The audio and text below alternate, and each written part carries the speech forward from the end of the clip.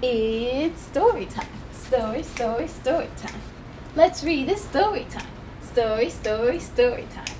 I'm geeked to story time. Story, story, story time. You and me is story time. Story, story, story time. Let's achieve hello and welcome to story time with me, Kayla. How's everyone's Sunday going? I hope you're doing well and staying safe. Guess what? We have another two book episode. Today we are going to read the books from Arthur Jenny Delacruz, who is a licensed counselor, mom, and wife. So, without further ado, the two books we will be reading tonight are dun, dun, dun, Fridays with Miss Melange, Haiti, and Mama, Can I Sleep With You Tonight? Nice! Both written by Jenny Delacruz and illustrations by Danko Herrera. Let's see what these two books are all about. Here we go. Ready, set, let's begin. Mama, can I sleep with you tonight? Written by Jenny Delacruz and illustrations by Danko Herrera. Here we go.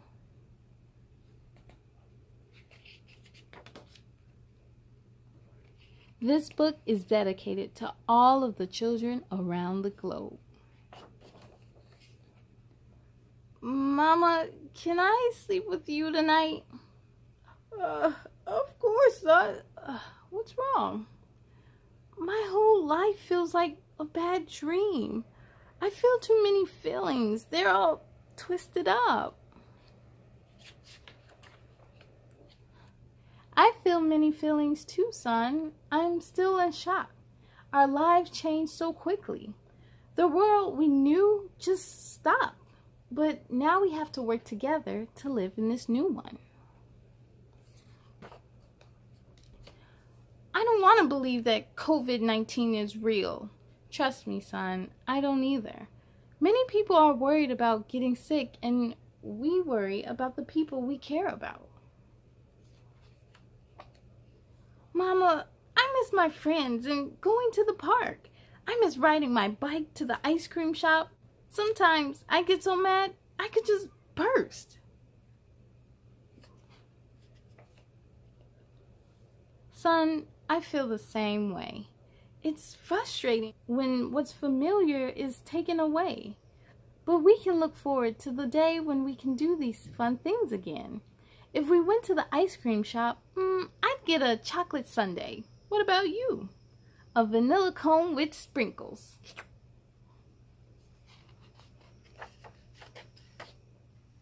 Mama, what can I do to make it end?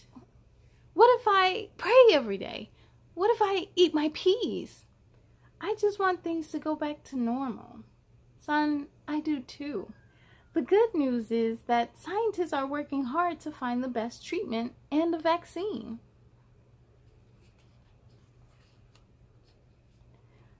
Can't stop feeling sad. I miss Nana's hugs and her good stories, but I don't want her to get sick. My stomach feels like it's full of knots. I miss Nana too, but we're doing the right thing by keeping our distance. We cannot see Nana in person, but we can call her or have a video chat. I guess. But Mama, yes, son? I just feel so scared.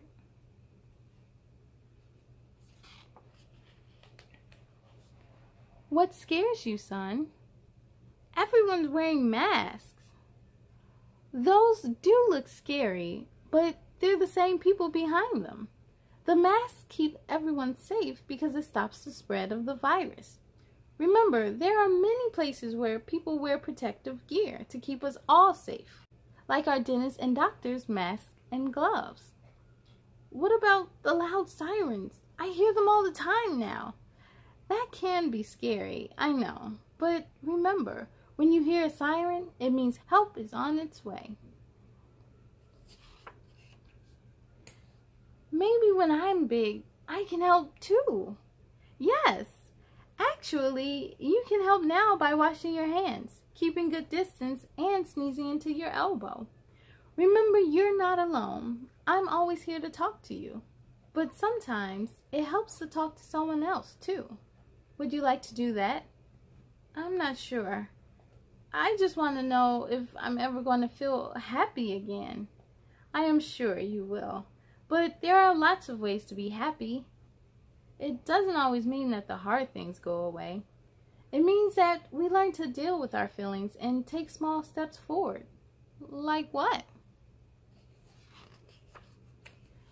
Well, how about we make our own ice cream shop until we can go out again? In our own house? Yes, in our own house. I can't wait. Mama, let's write down everything we need. Son, let's get some sleep first. We can do that first thing tomorrow, okay? Okay, but can I still sleep with you tonight?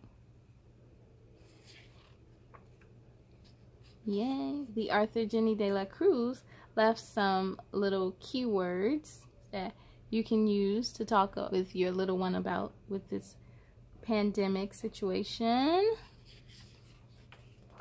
and resources. The end. Click here to continue with this two-part episode.